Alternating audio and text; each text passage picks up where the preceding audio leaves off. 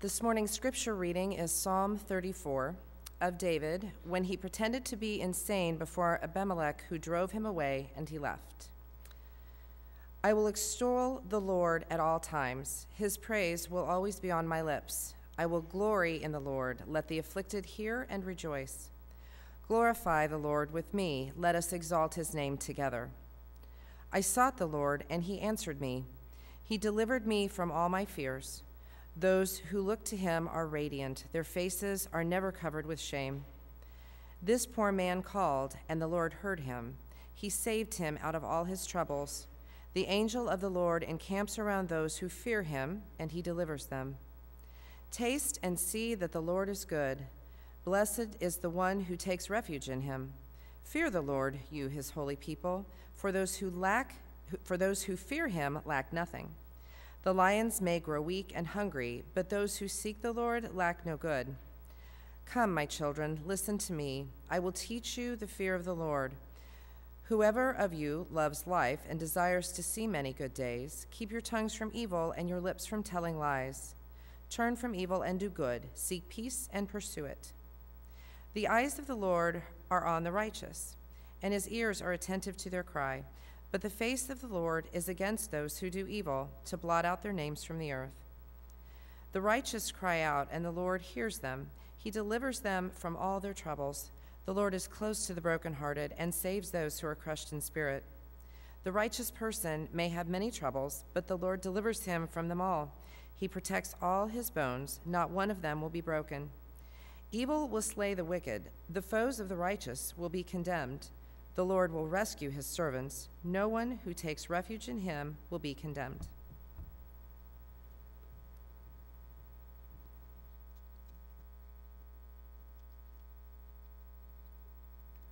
Please pray with me.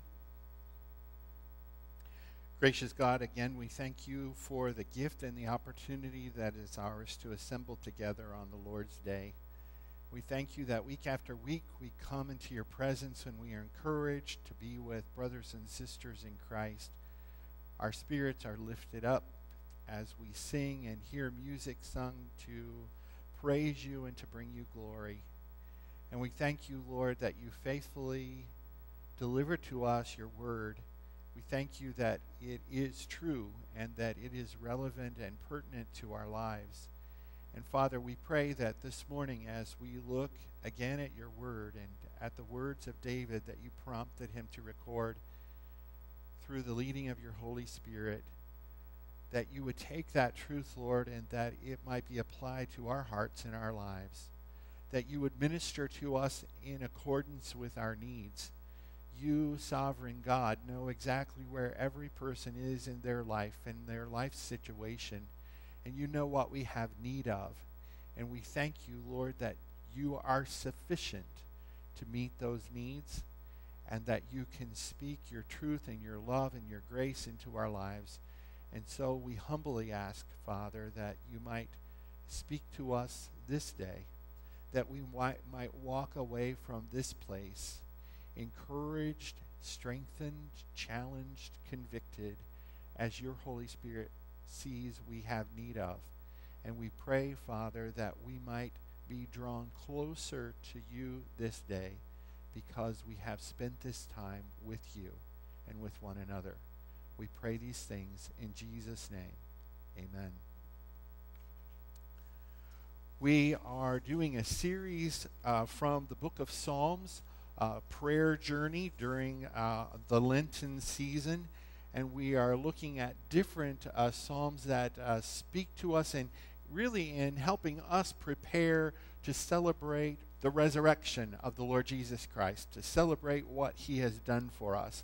Last week we looked at uh, prayer in concerning confession, a confession of our sins and our need to, to be cleansed and reconciled to God.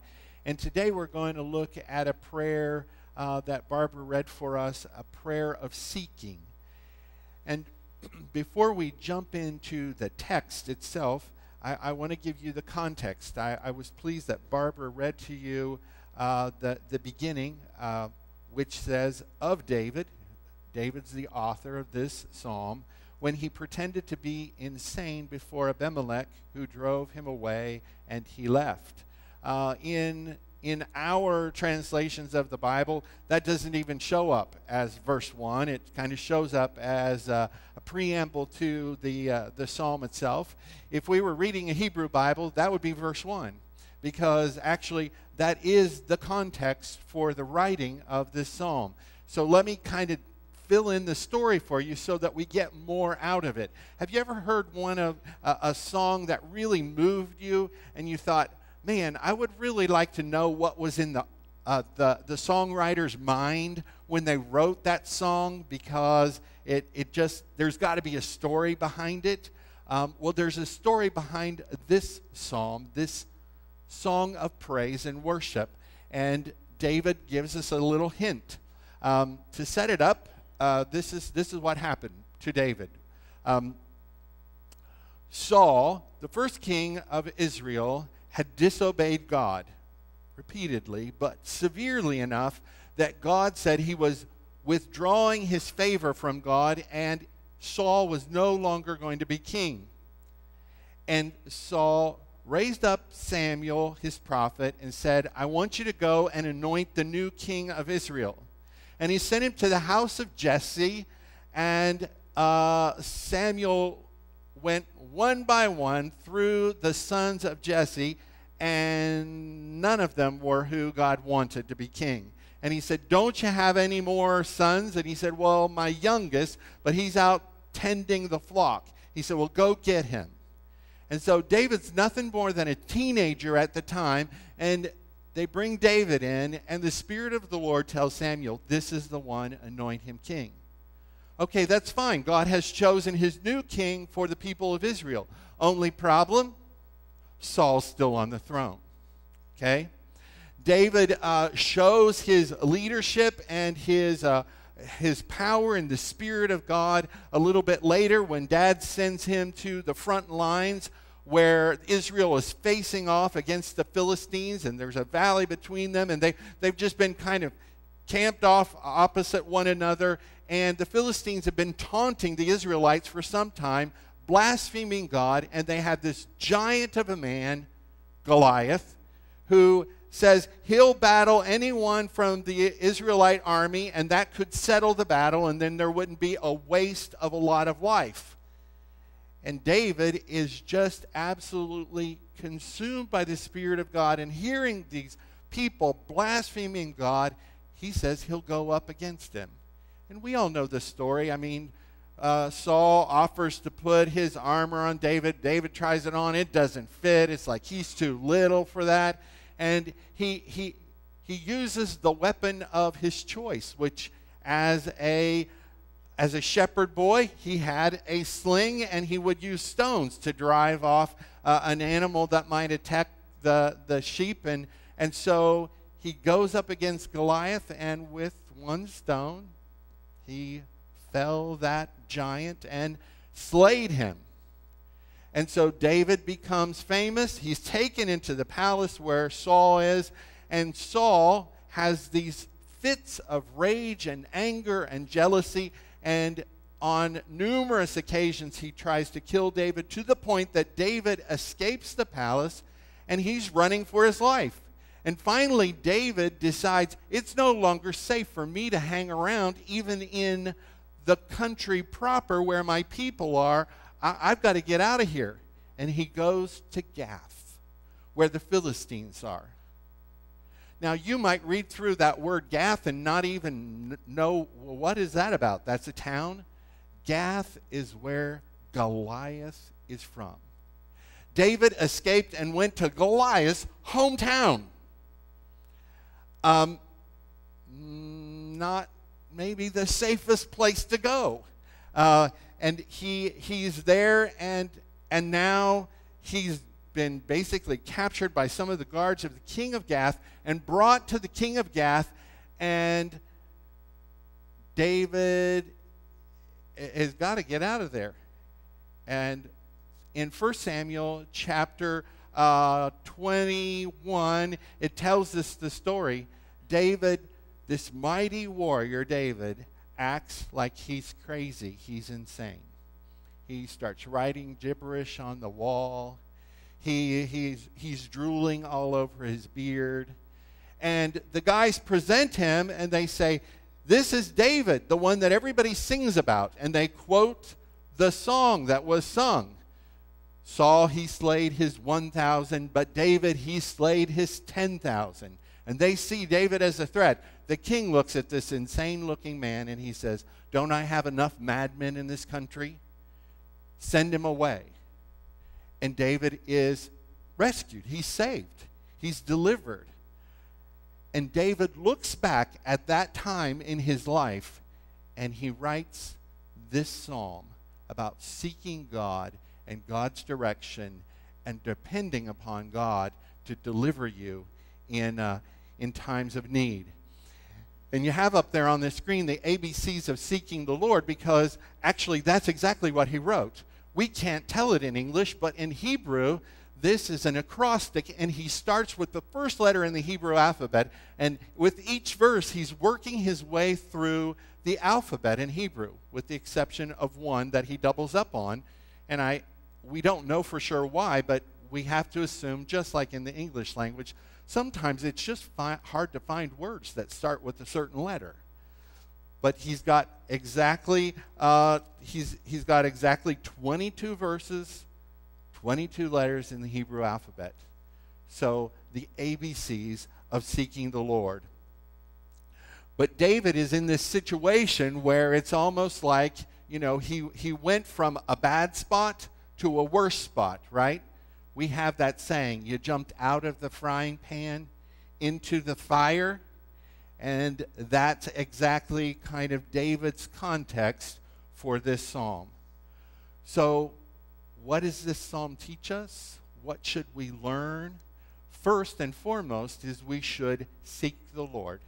We should seek the Lord. Um, and there isn't a time in which we should not, but specifically in this psalm, it reminds us of some important times in which we should. And the first one is when troubles come. In verse 6, it says, This poor man called, he's referring to himself, and the Lord heard him. He saved him out of all of his troubles. Verse 17, the righteous cry out, and the Lord hears them. He delivers them from all of their troubles. Verse 19 The righteous man may have many troubles, but the Lord delivers him from all of them. Ever feel like you're in the middle of troubles? Got some troubles today? What's the counsel of the Word of God? Seek Him, uh, call out to Him. Um, the second thing it reminds us is we need to seek the Lord when your heart breaks. Verse 18. Um, it says, The Lord is close to the brokenhearted. When you're hurting, when you're brokenhearted, maybe not even for yourself, maybe it's for someone else. Maybe their situation just breaks your heart and you, you, you feel overcome by it. Um, that's a time to seek the Lord, to look to Him, to ask Him. And, and in that same verse, verse 18, uh, it's when you are crushed in spirit, you need to seek the Lord as well. Um, crushed in spirit, I kind of take that as, you know, when when you're just hit by something and it almost just takes your breath away. It's, it's like you've been hit in the gut and you, you have no air you're, you're, you're, you're, you're gasping. Barbara, thank you for your genuineness this morning. Uh, thank you that within the context of the family here, you can say, I want prayer for this family that I love that has lost someone. We, we, we saw right when she began someone whose breath was taken away by some bad news. And the counsel of the Word of God is we need to seek the Lord in those times. And that's exactly what she modeled for us this morning in asking for prayer for them. Um, we need to go to Him, and we need to go to Him first. rather than that last minute. When I was working uh, at the hospital in Haiti as a missionary, um, the, the hospital was called the Good Samaritan Hospital, based upon the story that Jesus told about the Good Samaritan. But the locals, the Haitian people, did not call it the, the Hospital of the Samaritan, but rather they called it the Hospital of the Good God. And they believed and understood that the missionaries were uh, actually speaking and ministering on behalf of a good God. Now, sadly, what would happen is probably 80 to 90% of all the patients that came through the hospital came to the hospital for treatment only after they had gone to the witch doctor two or three times and unsuccessfully got any answers to their ailments or problems. And finally, they would go to the hospital. Now, before you and I, in our sophisticated society, look down at them and say, you know, well, why didn't they go to the hospital in the first place? Let me ask you how often do you, when you're faced with difficulties, try to solve things yourself and work it all out on your own instead of looking to the Lord first, asking Him first, seeking His will in the situation, and giving it to Him to direct you? We need to seek the Lord in all of the ways in which we can be accosted and affected by life in this world. Second thing we need to uh, take from what David said to us in this passage is we need to keep the right perspective.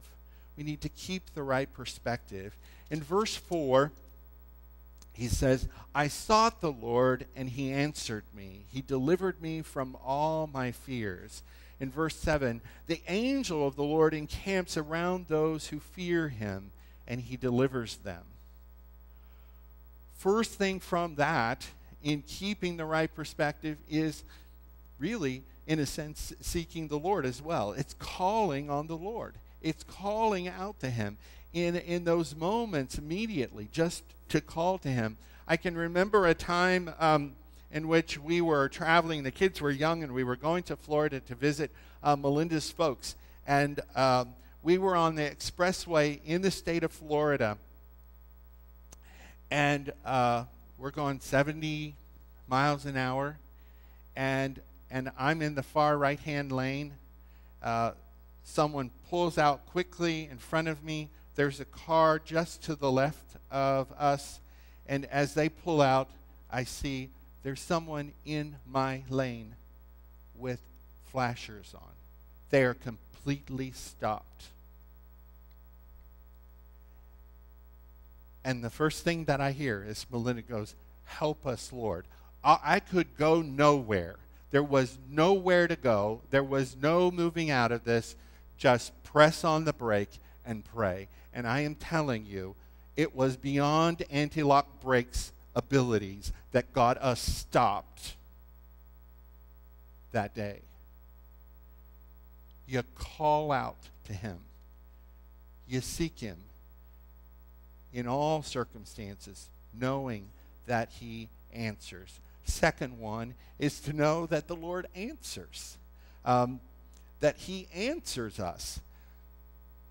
Now, I will give a little caveat to the Lord answering us we need to know that in our heads, but we need to know it in our hearts as well. We need to understand that our God does delight in answering his children and answering their needs. Will we always get what we want, like Kim asked the children? No.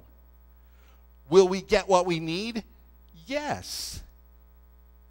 But we need to understand when we come to him, we need to exercise faith and truly trust him for the answers.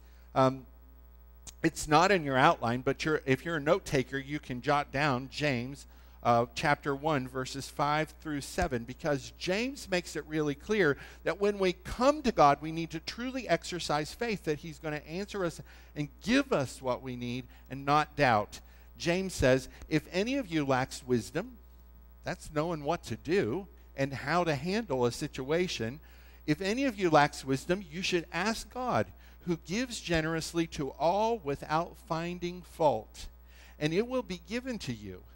But when you ask, you must believe and not doubt, because the one who doubts is like a wave of the sea, blown and tossed by the wind.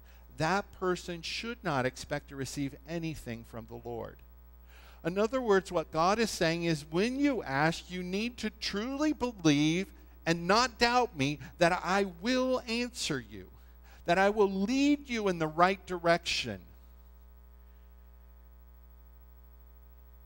Psalm 23, probably one of the most familiar Psalms. Um, he, he, he promises that he will lead us. Uh, he in verse 3, he guides me in the paths of righteousness for his what? Namesake. He promises if you truly want to honor me and live your life for me, I promise you, I will guide you in the right path for his own namesake. In other words, he's counting on us to be good representatives of him and He will lead us in that right path. We need to seek Him, and we need to know that He answers, but we need to fully exercise faith in the God who answers. And the third thing in keeping the right perspective is we need to fear God above all else. There are a lot of things. I mean, David rightfully, when he's standing before the king at Gath, feared for his life, I'm certain. We can be in situations where rightfully we can have reason to have fear, but we need to keep that fear in perspective that is nothing compared to who our God is. Everything you and I will ever face in life is tiny to God. Tiny to God. You know, it can be a huge, looks like insurmountable problem to you or me. But I'm telling you, it's nothing to the living God who spoke everything into existence and who conquered death for you and me. Are you or I ever going to face anything bigger than the grave? Jesus conquered it. If you're a Christian here this morning, you are trusting that Jesus Christ, who died and rose from the dead, will raise you from the dead, right? You are trusting that the moment that you breathe your last, you will be ushered into the presence of the living God and experience his glory for eternity, right? If you can trust him for that, can you not trust him for every day? If you can trust him for that great thing, can we not give him the stuff that really messes us up on a daily basis. You see, the perspective, I mean, it's really important to, to recognize we, we, we fear him and we revere him above all else, and it puts everything into the rightful perspective because I think the devil delights, absolutely delights in magnifying the problems in our eyes so that our God shrinks down in our eyes rather than is to the rightful perspective of who he is and what he's capable of. Uh, Jesus, in preparing his disciples to go out two by two and to uh, perform miracles and witness on his behalf, in Matthew chapter 10, it's not in your outline, but verses 28 and 29, he, he's giving them a pep talk. And he says, do not be afraid of those who can kill the body, but cannot kill the soul, but rather be afraid of the one who can destroy both soul and body in hell. He's saying, Fear God more than anybody you face. He says, and then he, he kind of applies it. He, he, he's saying how good God is and how caring God is. He says, Are not two sparrows sold for a penny, yet not one of them will fall to the ground outside my Father's care? And even the very hairs on your head are all numbered. So don't be afraid. You are worth more than many sparrows. He's saying, My Father God cares about these little birds and knows every single one that drops over dead. And he says, Does he not care more for you and me? We need to understand that God is greater than any problem you or I will ever face. So we seek the Lord, we keep things in proper perspective, and then lastly, we need to take the high road. You know, when you're when you're accosted with different problems in life and sometimes those problems involve other people and how they treat us, you need to choose to do the right thing and take the high road. Here, David is describing um, the situation he went through in which God delivered him, and in the middle of it, he does something really kind of strange. Um, suddenly, in verse 12, he says, Whoever uh, uh, whoever of you loves life and desires to see many good things, and now he starts to preach. He says, Keep your tongue from evil and your lips from speaking lies. Turn from evil and do good. Seek peace and pursue it. He's saying, Do the right thing. Take the high road. So, the ABCs of this take the high road. The first one is do good regardless regardless of what happens to you, regardless of what someone does against you, you do the right thing anyway. You do the right thing even whether there seems to be an immediate payoff or not. Um, scripture is always the best commentary on Scripture. And in uh, 1 Peter chapter 3, and I give the reference in, in your outline, I'm not going to read it, but Peter is talking to the church, and the church is being persecuted. And Peter says, You know, if bad things happen to you because you've done wrong, well, what reward is there in that? But if you've done right and you're still having bad things happen to you and people attack you, he's saying, hold on and do the right thing. Honor God and put Him first. And God ultimately will reward. There was a time in my life in which, um, shortly after college, I got a job, and, and the job was going well. And suddenly, uh, I got a message from the department head that we all had to uh, do a certain thing that was really against my Christian conscience. And so I made it known to my supervisor, I do not feel comfortable doing that, and I, I, I, I cannot do that. Well, the, uh, the message went up through the chain to the point that I got called into the manager's office. And, uh, and it became very clear that this was very personal to him. And he basically said, You will do this. And if you don't do this, not only will you be fired, but you will not find a job because you will not get a good reference. And I left that meeting that day, and I, I, I, can truly tell you that I did a lot of praying because I thought, Lord, what did I do wrong? I mean, uh, in, in every other way, and I even asked, you, you know, have I not been doing my job properly? No, you've been doing your job quite well, but this is what is now expected.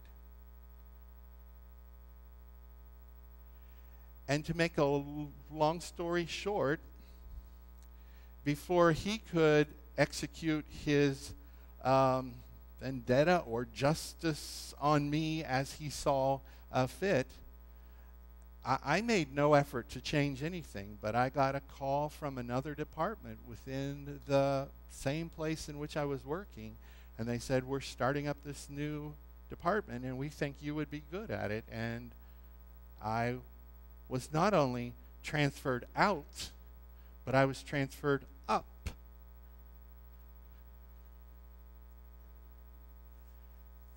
You do the right thing and God will work things out. You take the high road, and in taking the high road, also, you let Jesus be your example. you let Jesus be your example. Um, well, Pastor, I know that Jesus is supposed to be our example, but where do you get that in Psalm 34? Well, let, let me tell you. In, in verse 20 of Psalm 34, uh, David writes this by the inspiration of the Holy Spirit, and he's speaking about the righteous man who may have many troubles, but the Lord delivers him from all of them. Verse 20. Um, verse 20, he says, And he protects all of his bones, not one of them will be broken. Now, I, I, I can tell you, I'm, I am certain that David did not know whom he was writing about at that moment. But John, the disciple of Jesus, who was at the cross the day that Jesus was crucified, recognized that God was fulfilling a prophetic statement about his son. Because in John chapter 19, it tells us that it, the Sabbath is coming. Those three that were on the cross, Jesus and those two thieves that were on each side of him, uh, they had to get them off the cross. They could not hang on, the, on their crosses uh, into the Sabbath. And so the, the soldiers were told that they were to break their legs. By breaking their legs, that meant that no longer could they lift up and breathe, and basically that hastened their death. So they would suffocate. And they came up to the first one, and he was still alive. They broke his legs. They come up to the second one, they broke his they came up to the Lord Jesus and discovered he's already dead. And John says they didn't break his legs, and he quotes Psalm 34 that the righteous, not one of his bones will be broken. What is the takeaway from that? Follow the Lord's example. Now, did, did everything physically work out right for Jesus?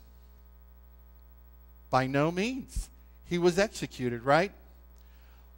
But was his life used in the manner in which God intended it? Absolutely, because without him we would be without hope. Follow the Lord's example, do the right thing. And lastly, know that there is a greater plan. There is a greater plan. You and I, God chose to have you live on this planet Earth. Every single life that has come about is because of God's will and plan. And He has a reason for each one of us. And that is a marvelous thing to understand. That is a marvelous thing to accept that, that God has a plan. Now, I cannot tell you beyond a shadow of a doubt what was in David's mind when he's facing this king in Goliath's hometown, but one thing I am certain of David had this in the back of his mind God has anointed me king through his prophet Samuel. God intends for me to be on the throne and shepherd and lead his people. And this moment is not the end.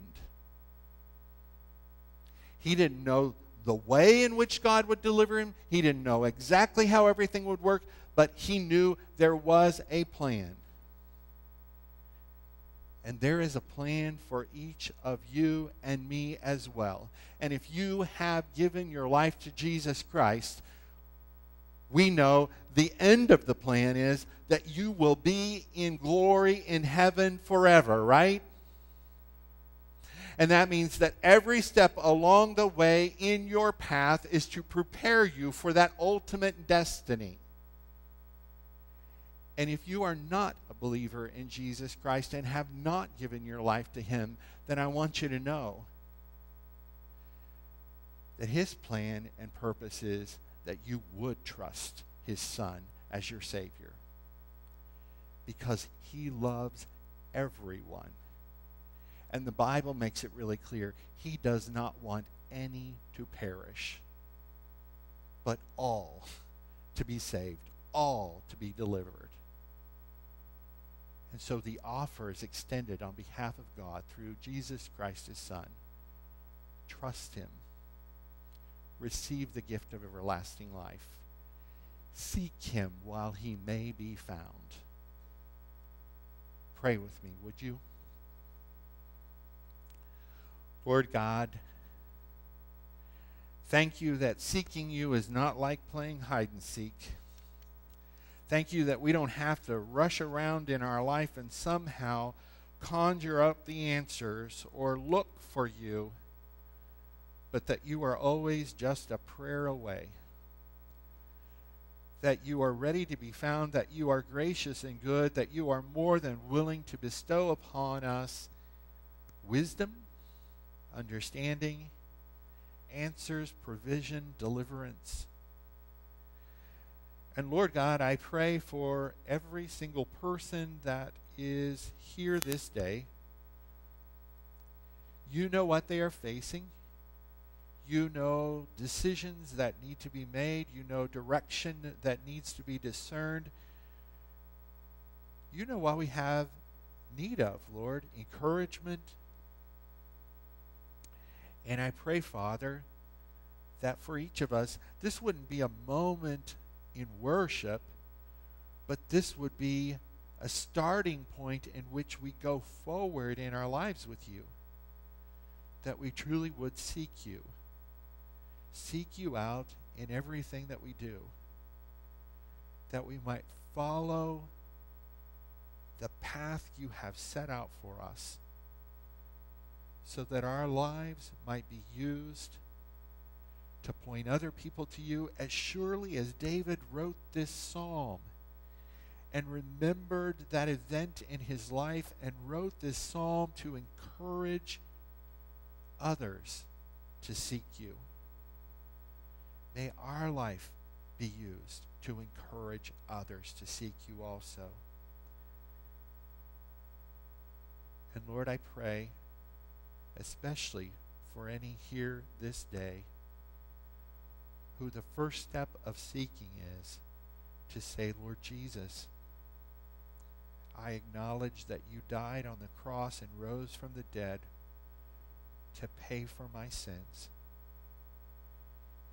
And I trust you with my life and with my eternity. I ask you to come into my life, forgive me of my sins, and cleanse me so that one day I will be able to be with you in heaven. And I pray that from this day forward, I might live each day for you and to make you known. And all God's people said, Amen. We're going to close out our service by singing Wherever He Leads, I'll Go, a beautiful hymn that describes uh, basically uh, it's, a, it's an affirmation of dedication. Hey, God, I'll go where you want me to go. I'll do what you want me to do. I'll say what you want me to say. And that only happens when we're really seeking Him. So uh, as we stand and sing this, I extend this invitation. If you uh, uh, want to give your life to Jesus Christ, if you prayed and asked Him to come in, if you want to join this church family, maybe you're going through a hard time and you just want some prayer. There will be people that will pray with you. You respond as the Lord leads. Wherever He leads, I'll go.